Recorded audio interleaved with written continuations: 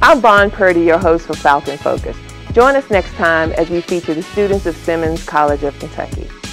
Right here on SSC Live TV. It's TV our way.